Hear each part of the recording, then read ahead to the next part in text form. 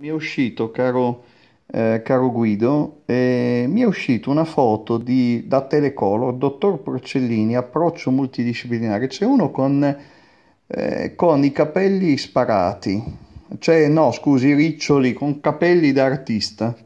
Chissà se è lo stesso, mi sembra strano. Mi No, sa- no, no, quello lì è il dottor Sodani, Pietro Sodani. Allievo,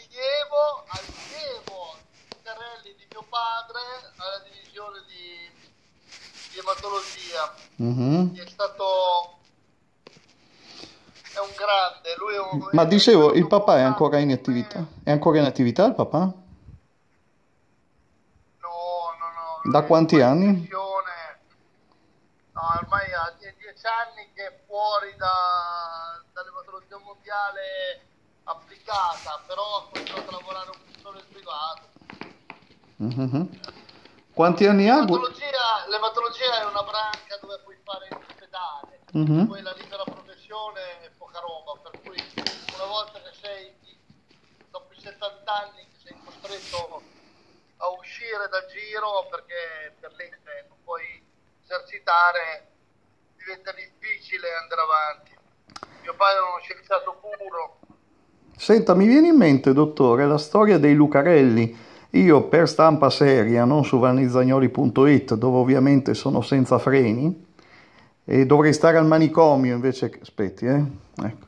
Pensi che, lo dico volentieri, un anno, siccome sono semidisoccupato, quindi mal di pancia, insomma, puoi immaginare, no, dottore? Un anno e mezzo fa mi volevano trattenere quasi con la forza allo al pronto soccorso di Reggio Emilia, dove mi hanno ingannato, no? Nel senso, arriva, arriva il medico, no, ma adesso arriva la psicoterapeuta. Beh, insomma, non è stato...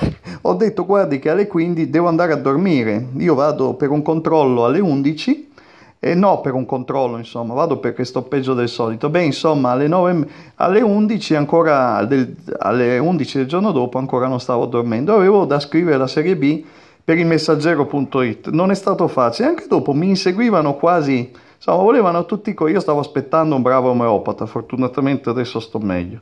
Intanto ormai sto per finire lo spazio e invece Guido faccio diverso, devo fare diverso e la chiamo dall'altro numero perché qua è un telefonino di riserva e ho finito lo spazio. Intanto dove sta andando, dottore? A casa? Eh, sto, to- sto tornando a casa, abbiamo fatto le visite a Resano di Treviso, al centro rebellato e finite queste si torna a casa dai bambini.